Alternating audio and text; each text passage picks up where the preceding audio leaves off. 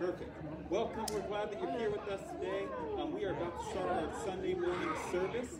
Um, we are glad that you've decided to tune in, and we do this every week. So you can either tune in on our Facebook page, or you can tune in through tune in through YouTube and see a recorded copy of it. Um, we hope that you enjoy what you see, and we're just glad that you chose to worship with us. Thanks again. Good to see you all. Bye. Okay.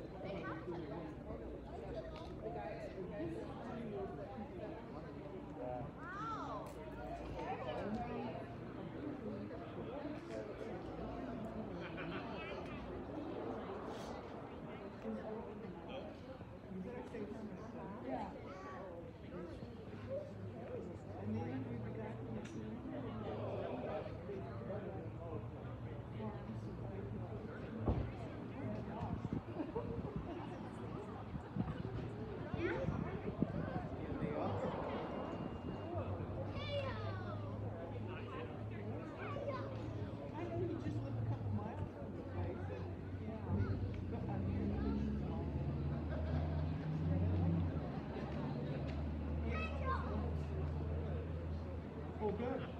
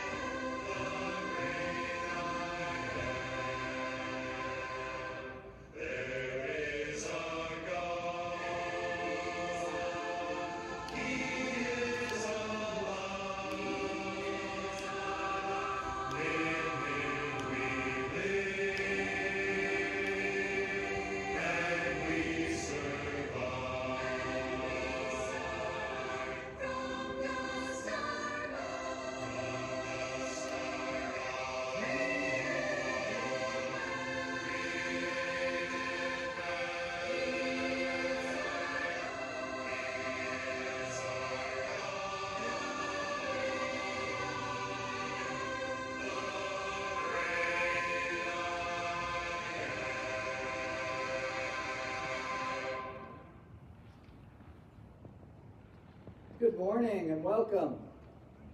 Just want to uh, announce this morning, I'm going to be uh, opening this morning with uh, our prayers and and uh, and instead of closing, and, and our closing this morning, we uh, will end after the message. We'll end in in song, um, and so um, as we do that, I know that this is a harder time.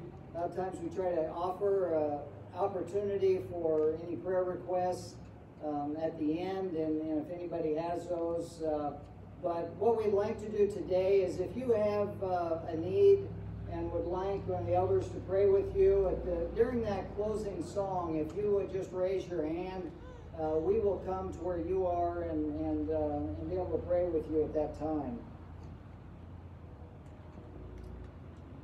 If it doesn't work to, to get a hold of us, don't hesitate to give us a phone call or send us a text as well. We, we just like to keep in touch. Um, last week we had a few announcements that um, the uh, people that we were praying for, and we want to continue to kind of update that.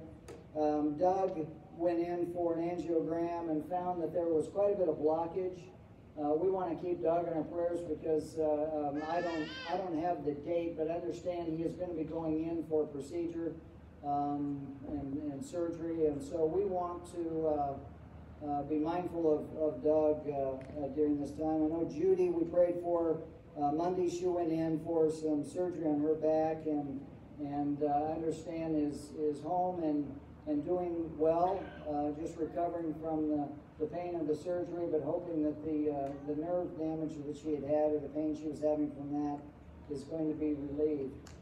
Um, uh, the heirs mentioned this morning that their grandson uh, Hunter is going into the Marines today. We want to thank him for his service and, and just keep him in his prayers as, as he takes that um, takes on that journey.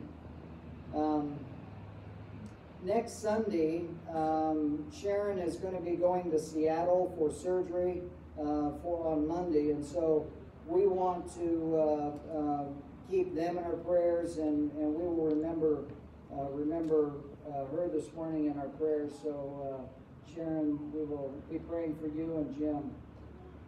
Also, I was reminded or mentioned this morning that Barbara Harmon has been in the hospital for uh, the last few days, and and we want to keep Barbara and of course all the caregivers here. Um, Kaylin, I know, is is, is actively helping, and Bob. so we want to remember them. Um, I want to uh, read a, a just a, a, brief email we received from uh, Peggy this week that she was scheduled to go in for surgery tomorrow, and, and as they were doing uh, ultrasound, they found some lesions. Um, and so she is going in this morning for an MRI, and uh, we want to um, just, I, I, know she had had uh, um, scheduled surgeries uh, for her uh, knee replacement and so forth. Uh, that has been postponed at this point, and so we want to remember Peggy as well in our prayer together.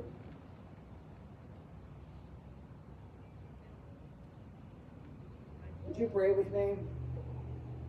Our God and our Father, we come before you. Lord, you have blessed us richly. We have uh, we have a hope, God, that you have provided through the blood of your Son, the forgiveness, God, of our sins. And God, you have made us whole, and we just are thankful. Father God, we just ask that you are with those that we mentioned this morning. For, Barbara and, and Peggy as they're up at the hospital today. Uh, for Doug as he's going to be uh, going in for uh, surgery um, for Sharon as, as she goes in for surgery. We thank you, God, for the healing you're providing Judy, and, and God, we just pray that you continue to be with her. Bring healing, God, to all of those who, who are struggling. We're thankful for the hope, God, that, that you give us beyond this life. Father God, be with us this morning as we have a time of worship and as we praise you. It is in your Son we pray. Amen. I'd like to read a passage this morning from Proverbs. It's in the third chapter, verses 3 through 6. It says, Let love and faithfulness never leave you. Bind them around your neck. Write them on the tablet of your heart. Then you will win favor and good name in the sight of God and man. Trust in the Lord with all your heart and lean, lean not on your understanding. In all ways, submit to Him, and He will make your path straight. Let's continue our time of worship.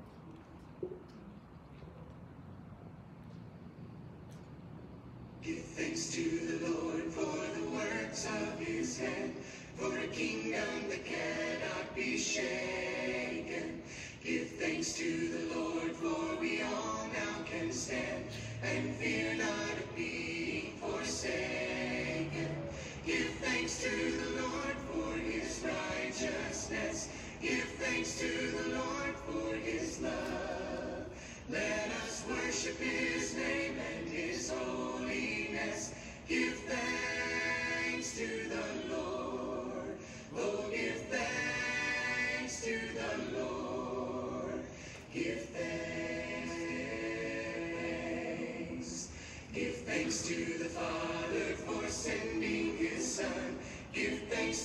Son, for the Spirit. Now lift up your voices to God, three in one, and shout so the whole world can hear it. Give thanks to the Lord for his righteousness. Give thanks to the Lord for his love. Let us worship his name and his holiness. Give thanks to the Lord thanks to the Lord. Give thanks to the Lord for his righteousness. Give thanks to the Lord.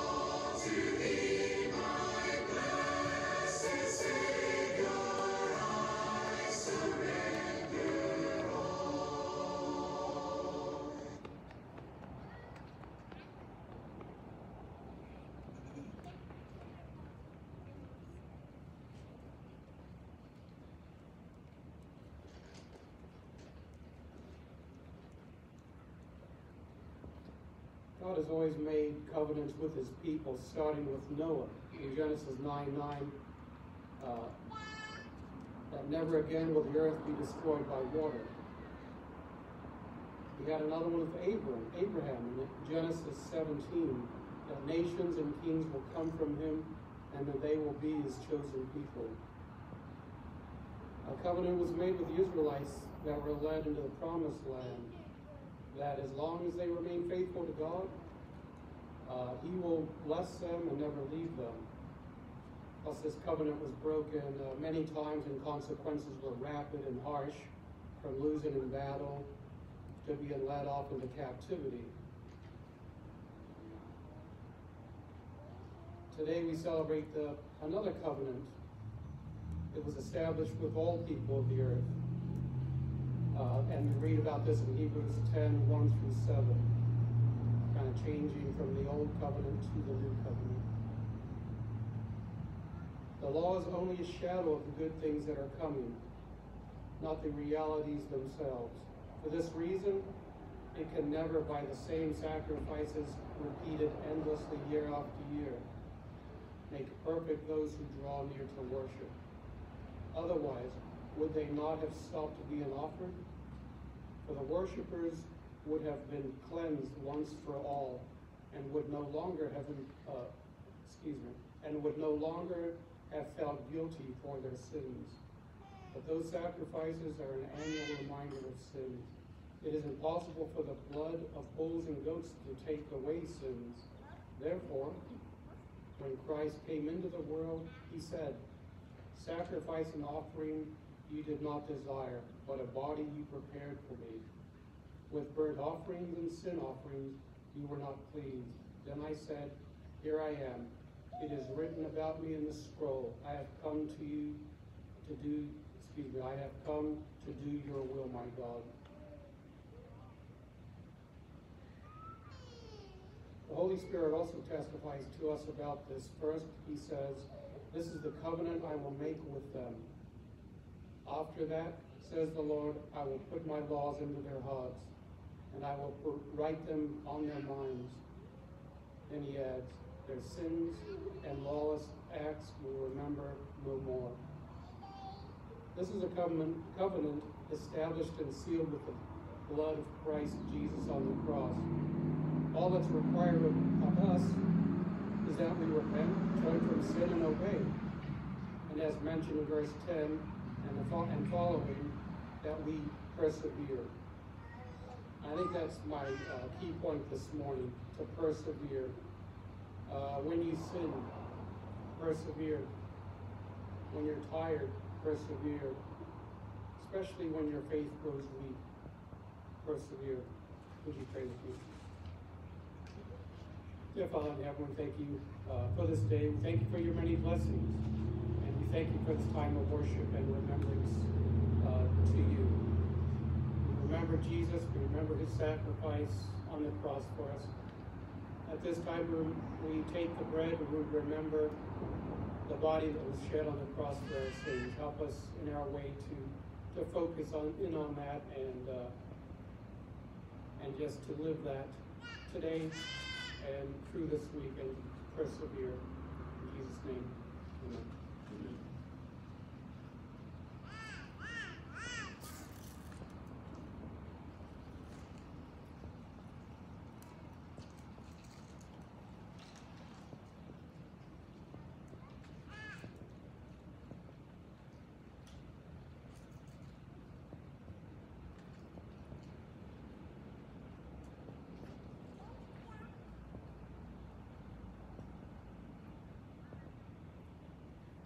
Let's pray for the fruit of the vine.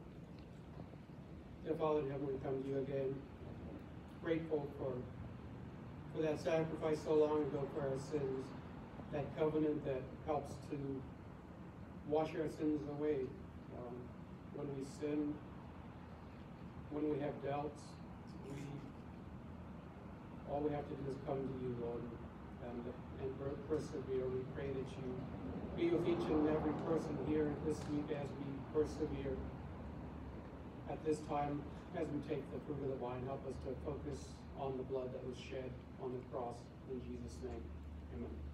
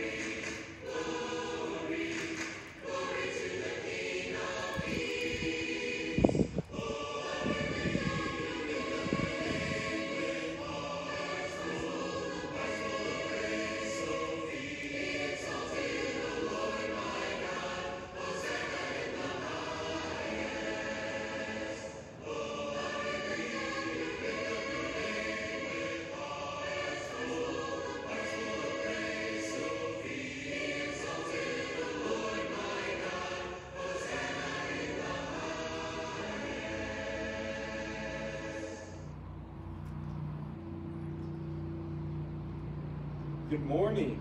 I'm grateful to be here with you this morning, as always, when I get the opportunity to speak in front of you. Um, and today we're just going to jump right in because the topic that I'm going to cover um, deserves our utmost attention. We are going to talk about a topic that has the ability to plague certain churches with division and decimation while also being a driving reason for other churches that are experiencing growth and prosperity. The topic today is questions. Questions are powerful, but a dangerous tool all at the same time. Used across the world by many people, uh, and people of all ages are asking questions daily for a bunch of different reasons. Um, my son is very inquisitive right now. He's very much in this question stage. So what, a couple weeks ago, about two weeks ago, we ate a meal called burger bowls. It's very complicated. You put every ingredient of a burger into a bowl and you eat it. Um, not much to it. But what happens is that that's just not good enough for him. He wants to know the why behind everything and the who behind everything. So I got questions like this Who makes the tomatoes?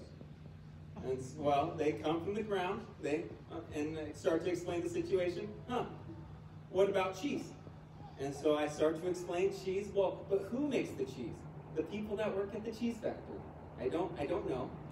And so then we go through. Then I have to talk about what ground beef is actually made of. And so we talk about cows, and that was an interesting conversation in itself. So, but I'm going through, and until his five year old mind is satisfied with all the answers, he keeps on asking questions. There's just more and more questions. So I'm asking you today do we ask questions like a five year old? Do we use questions to help our faith grow? Are we asking questions to search for truth and answers and to understand that we could be doing things wrong in the same breath. It's not something that we have to hide from. But do. Do we hide That's today's topic. And it's hard. It's not easy. And I understand that there I'm going to say some things today that are probably going to rub people the wrong way. And my intention is not to hurt feelings, but it's to grow understanding. It's to make sure that we know that we are not so focused about some things that we don't allow questions to arise from others and from ourselves that would stop us from being a better Christian and a better servant to our God. So, if we're going to have a sermon on questions, the first question that you have to answer is why? Why? That is the most common question that is asked by people. And so, to answer the question why, we're going to look at it two different ways. We're going to start with understanding why people don't ask questions. What keeps people from asking questions? And to do that, I enlisted the help of the brilliant internet, right? I use Google and I search top 10 reasons why people don't ask questions. Very simple. And as I read through all the different articles and I, I explored a couple different avenues, I learned a couple different things. These are a few things that showed up on most of the lists I read through. People don't ask questions for fear, because they're too prideful. They have jealousy of other people knowing answers that they don't have the answers to. They are accepting of their own ignorance, and they just don't care. They just don't care to know the answer. And as I read through those articles and I kind of combined this list together, I said, you know what? That sounds like my life in certain areas at different times. There's times when I've been fearful of what the answer might be, when my pride has said I should know this and I'm too prideful to ask a question, when I might experience some jealousy because, you know, Sally Jane, who's down the road from me, might be a little bit smarter. I might be a little jealous of that. I'm accepting of my own ignorance. That speaks for itself. And then there's other times when I just don't just don't care. It's just not something that interests me. So I said, you know, that makes sense. I can relate to all those. But then I stumbled across an article called Three Unexpected Reasons Why People Don't Ask Questions. And this is the part that I think is very relatable to the church. The reasons in the article are as follows People don't ask questions because the answerer has to have an answer. The person you're asking the question to has to have an answer. The second reason would be people don't ask questions because the person that they're asking the question to, the answerer, feels like they have to save the person who's asking the question. And the last reason is this people don't ask questions because the answerer feels like they have to maintain control of the conversation. As I said before, this is going to be hard to hear because I'm speaking about Christians. That's what I'm doing. And the three individual points focus around this idea of control. As Christians, we have a hard issue with our own selves of letting go of control. And that's hard. That's hard. But as Christians, we both share we share experiences and the issues with both parties. We've been the questioner and the answerer, all in one foul swoop. There are situations where you're going to not ask the question, and there are situations when you're trying to give so much answer that you haven't even, you forgot why you tried to answer the question in the first place. And that's the problem. Young Christians today are too fearful to ask questions because they're not looking for saving. They're not looking for you to save them.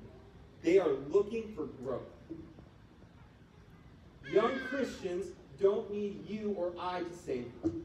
Jesus already saved them. That's already established. When you accept Christ onto baptism, you have the basic understanding that He has saved you. And young Christians don't need us to try and fill that spot because it's already there.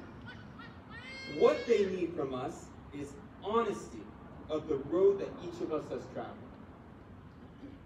They want us to be willing to walk beside them, not in front of them. They don't want this feeling of you always have to lead them, but they want you to hold their hand as you take them alongside you for this long journey. Because just like you can pick them up, there are also times when they can pick you up too. They are not looking for saving. Christ demands that we walk this world as if we are not worldly, but understanding that we are called to a higher standard. That's what Jesus calls us to. Imagine this. Let's change our, the, our perception or the perception about Christians. let's change it from this Christians are always just going to judge to this Christians are always going to love you. They're always going to love you. And if we did that, don't you think we'd be getting a lot more questions about how to accept God's undying love? All right, that's the first spiel. Here's the second one. Time to answer part two of the why. The part two of the why we need to be asking questions is because there are people who came before us that asked questions in the Bible and they got answers. They received answers. Not all of them that they liked, but they received answers. And I'll tell you why that's important here in a little bit. Did you know biblical scholars say that there are roughly 3,300 questions asked in the Bible? The average Bible, excluding these monsters, these things are like 2,700 pages. The average Bible is roughly a thousand pages. That means 3.3 questions per page. That's what that comes out to. That's math. Okay? Men and women of the Bible in the past are asking questions, and what do we know about them?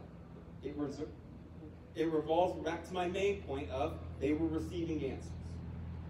So we're going to look at that right now. So let's start with Abraham. So if you have a Bible, go ahead, or a phone, turn to Genesis 15. That's where we're going to start today.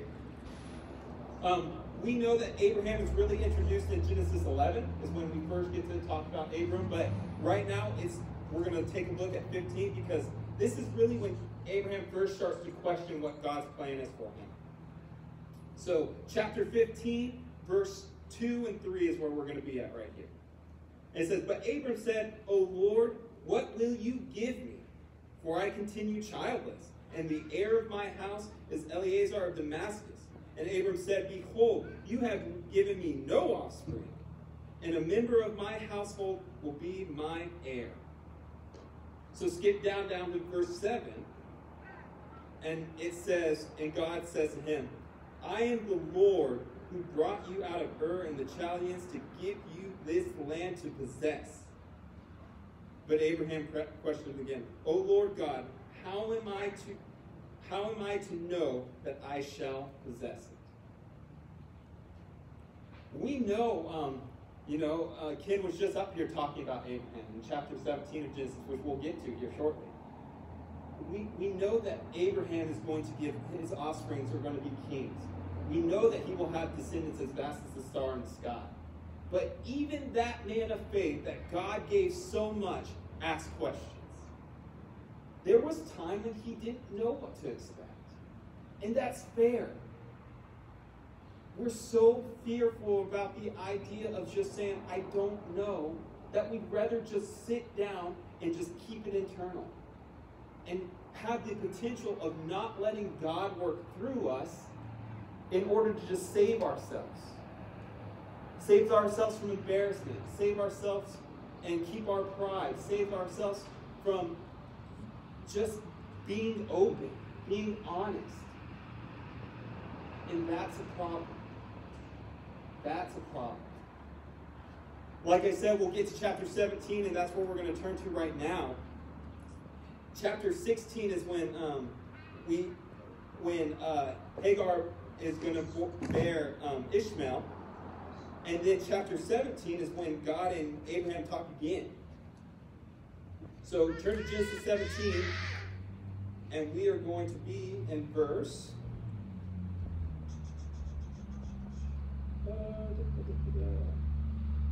Verse 3.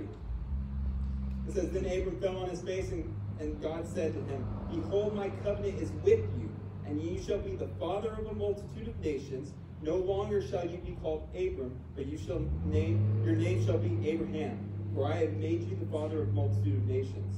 I will make you exceedingly fruitful, and I will make you into nations, and kings shall come from you. I will establish my covenant between me and you, and your offsprings and you throughout the generations for an everlasting covenant to be God to you and your offsprings after you and I will give to you and your offsprings after the lands of your sojournings, all the lands of Canaan and everlasting possessions, and I will be their God. Um, and God said to Abraham, As for you, you shall keep my covenant, you and your offsprings after you and throughout your generation. And then I want to skip down over here, down to verse 17. So, so the, the notice right here is that God went out and talked to Abraham and is saying here everything that's going to happen. He's explaining it, he's laying it out right in front of him. And here's what Abraham says in verse 17. Then Abraham fell on his face and laughed and said to him, Shall a child be born to a man who is a hundred years old? Shall, shall Sarah, who is 90 years old, bear a child? A question. Abraham can't even believe it. He's saying, God, I'm 100 years old. And you're telling me that my descendant is not supposed to be Ishmael, but you're going to give my wife, who's been barren for 90 years, a child? He even approaches God with a question. But what does God do? We know that Isaac, is born. And we know that God fulfills his promise. So it revolves back around to that point of control. Abraham needed to control the situation. I can't believe it, God, even though you have something in the works, that you could do something so miraculous. God laid it out to him, but he still was fearful. Abraham couldn't believe.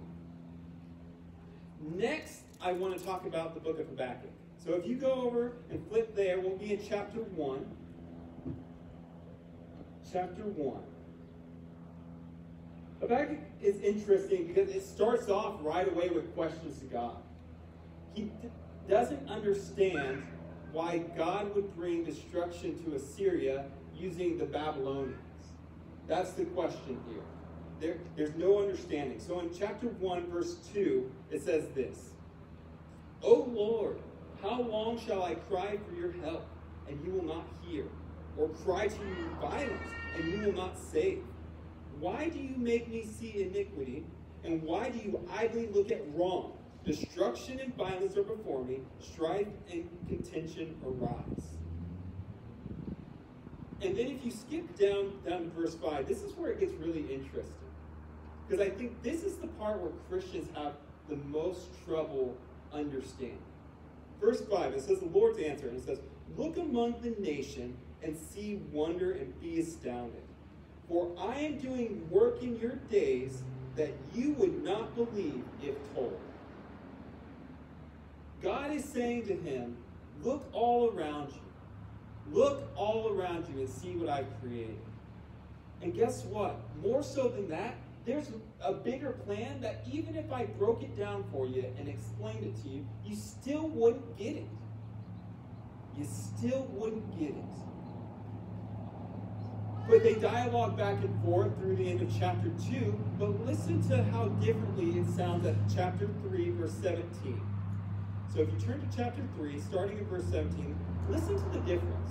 We started at a very questionable state. And this is where we end the book. Though the fig tree should not blossom, nor fruit be on vines, the, produ- the produce of the oil fail, and the fields yield no food, the flock be cut off from the fold, and there be no herd in the stalls, yet I will rejoice in the Lord. I will take joy in the God of my salvation. God the Lord is my strength. He makes my feet like deer's. He makes me tread on my high places. What a difference. What comes from asking questions? We see a complete 180, a complete change of heart. From the man who asked the question at the beginning to the understanding of what was coming at the end. What came from the question? Though Habakkuk couldn't understand why this was happening in the first place, at the end, it stated that he will put his faith in God. Now, lastly, I want to kind of go, to, or I want to turn to Matthew 16, um, starting in 13. Matthew 16, starting in verse 13, we'll read through verse 20. Even Jesus asked questions. Even Jesus was there throughout the Bible asking questions of people. So starting in verse 13, it says this. Now when Jesus came to the district of Caesarea Philippi, he asked his disciples, Who do the people say the Son of Man is? And they said, Some say John the Baptist, others say Elijah, and others say Jeremiah, or one of the prophets. And he said to them, But who do you say that I am? Simon Peter replied, You are the Christ, the Son of the living God. And Jesus answered him, Blessed are you, Simon Barjona, for flesh and blood has not revealed this to you, but my Father who is in heaven. And I tell you, you are Peter, and on this rock I will build my church, and the gates of hell shall not prevail against it. I will give you the keys of the kingdom, and whatever you bind on earth shall be bound in heaven, and whatever you lose on earth shall be loosed in heaven. Then he strictly charged the disciples to tell no one that he was the Christ.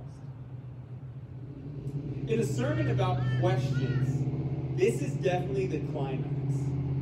For, for, first off, the one asking questions is Jesus. So you can imagine when he's asking questions in front of the disciple, and when Peter responds, that there's probably some nerves. I, I know that if Jesus asked me a question up to my face, I would probably be nervous. Be like, man, I know there's a lot of opportunity to not answer correctly. And I would feel the nerves that come with that. Second off, this is the first time in the book of Matthew that Jesus has confirmed the notion that he is the Son of God, Son of the living God. But I want to reread verse 17. It says this And Jesus said to him, or Jesus answered him, Blessed are you, Simon Barjona, for flesh and blood has not revealed this to you, but my Father who is in heaven. Peter's knowledge has nothing to do with him, um, with him knowing that Jesus is the Son of God. But the Spirit working in him is what gave Peter that knowledge. Jesus confirms that. He said, It's not by flesh and blood that you know, but my Father who is in heaven revealed this to you. Jesus said that. At the end of the day, we can recognize that those who are asking questions are doing so to ensure that the path of action that they take is ensuring the completion of God's truth for his will. That's why people are asking questions. They are asking questions, understanding and being able to admit that they are at fault for not knowing, but they want to grow in the ability and the knowledge of God's will and best set themselves up to teach other about that same knowledge.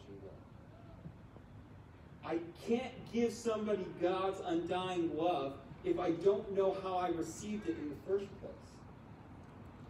When I accepted on his baptism and I grow in him and I study about him and I start to understand what his love means to me, I should want to share that. Recognizing that it's not my gift, but God's gift that he gave to me that I can then share to others. That's the purpose. But I don't get there from without asking questions. To learn how to and to understand about what baptism is, I had to ask questions to figure that out. I asked these questions. Abraham asked questions. God, you tell me that I'm going to have all these descendants? How? Explain it to me. And God gave him that answer.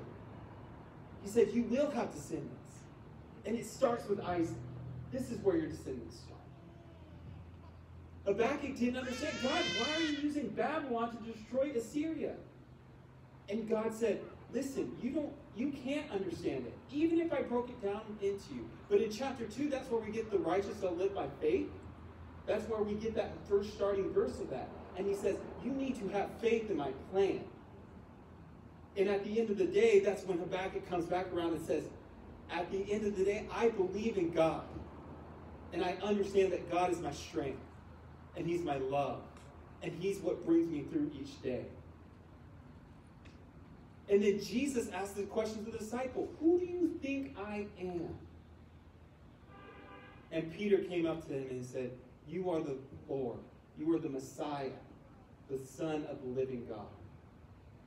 And based off of that, Jesus rewards him saying, Peter, based pretty much based off of your confession, your understanding of who I am due to the Father revealing that to you, I am going to build my church upon.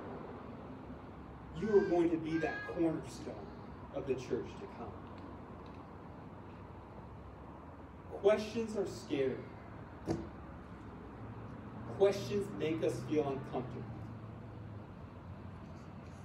Questions make us doubt. But Christians are not called to fear questions. Christians are not called to fear questions. We as Christians have committed our lives to God in hope that we can continue to show our light and share undying love and never ending grace to those who are in the darkness. That's it. That's what we're called to do. That's the Great Commission. Go out, baptize people in the name of the Father and Son and the Holy Spirit. Teaching them, sharing with them. Don't hoard this great thing that we have, but take it out and share it with them. But you can't share something if when someone asks you a question, you turn them away. What's that say about us? If someone asks us a hard question, and instead of just admitting that we don't have a great answer, we say, well, you shouldn't ask that question. Or we say, we don't even tell them that we want to research together or learn together. We just say, I'll pray for you about that. that that's not the way to reach people and show them love. The way to do that is by being honest. It comes back to that honesty factor of saying, I don't have a great answer. But man, I would love to study with you and find the answer together. Who says that we have to do it alone? Sometimes when people are asking us questions, we feel like if we can't come up with the answer on our own accord, then it's not worth sharing. That is the biggest baloney I've ever heard. It's just hogwash. It is. I can't imagine someone being so smart that they can come up with every perfect answer on their own. What we need to do is rely on one. It goes back to that idea of young Christians aren't asking us to save them, they want us to walk beside them. Don't fear the question. Instead, look at it as an opportunity. When we reject questions, you've now rejected the Holy Spirit's opportunity to work within you. You've now rejected the Holy Spirit's opportunity to work within somebody else. Why would we do that to God? Why would we not let his gift that he's given us be shared and been, being able to be used in an opportunity to grow his kingdom? That goes against everything we stand for as Christians. It doesn't make sense. So what we need to do instead of fearing the question is accepting the question and growing in love and compassion and grace for everybody. Knowing that somebody's going to ask me a question that I don't know the answer of, but I hope that they have the understanding and the love to be, bear with me as we find out truths together. While also, I'm going to ask questions of other people that they might not have the answer to. But that's okay. Because lucky for us, God doesn't tell us that the perfect Christian is molded in a day. He doesn't sit there and say to you, well, if you didn't figure it out the first time, there's, there's nothing for you as a Christian. He extends undying grace. He extends never-ending love. And he gives us all the tools and compassion to continue to fight and grow together.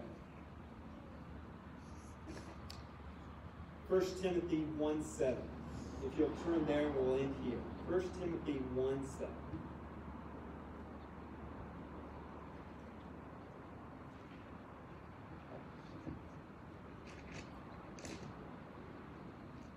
I can't read because I turned to 1 Thessalonians 1 second, but that's okay. 1 Timothy 1 7. It says this Desiring to be teachers, that's definitely not the right verse. Hmm. That's definitely not the right verse, even though that's definitely what I wrote. Give me a second. I am very sorry. All right, let's do 2 Timothy 1 7. We'll get there. We're coming in right now. 2 Timothy 1 7 is definitely the right verse. It says, For God gave us a spirit not of fear, but of power and love and self control. when you work in a life of fear, you are not working within the spirit that God gave. Per the Bible. That's what the Bible says. When you are working in a spirit of fear, you are not working with the love and power that God gave. Not having an answer is okay. It, it is. Anybody who tells you differently is wrong. Not having an answer right away is okay. Not getting the response you were hoping to when trying to help somebody when you answer their question is okay too. Sometimes we get so caught up in the response, we think, man, I just answered that question so perfectly that they're just going to just fall right in and say, that made so much sense. And then two seconds later, they say, I still have no idea what you're talking about. And that's okay. At the end of the day, we're stewards of what God calls us to do. We are called to be, we are called to sharpen our mind and soften our hearts always willing to accept others while also being the first to admit our blemishes. So, the question I want to ask you today as we close up is this Have we been living our Christianity out in fear? Fear to change, fear to accept things that make us uncomfortable, fear of not being accepted by our peers. And if so, are we ready to fully commit to the Spirit which God gave us to work out of power and love in order to help other people become Christians too? That's my thought for you today. It's okay. Being broken is okay. We don't have to put up a face. We're actually called to be open be softened, be understanding. But let's do it together so we can be fortified as a unit in order to grow each other personally and grow the church of God as a whole. Let's grow together. Hear the holy roar of God